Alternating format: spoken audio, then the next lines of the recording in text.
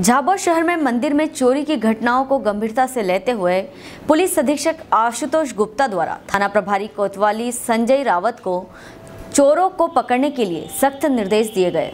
इस पर थाना कोतवाली पुलिस द्वारा तत्परता दिखाते हुए सभी स्थानों की लोकेशन के सीसीटीवी कैमरे को खंगाला गया तथा अलग अलग टीम बनाकर संदिग्धों की पतारसी हेतु लगाया गया। रात्रि में नेहरू मार्ग झाबुआ स्थित कालिका माता मंदिर के इन्वर्टर में लगी ओकाया कंपनी की बैटरी चोरी हुई थी।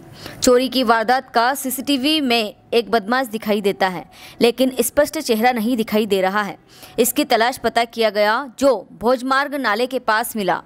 जो शुरुआत में पुलिस को गुमराह करता रहा। यहाँ का नहीं होना बता रहा था। बाद में पूछताछ करने पर अपना नाम बताया। मंदिर में चोरी गई। इन्वर्टर की बैटरी को बेचने की फिराक में घूम रहा था। आरोपी से चोरी हुई। ओकाया कंपनी बैटरी बरामद की गई, जो दस हज़ार पाँच सौ रुपये की है। आरोपी को गिरफ़्तार कर अन्य मामलों में भी पूछताछ की जा रही है।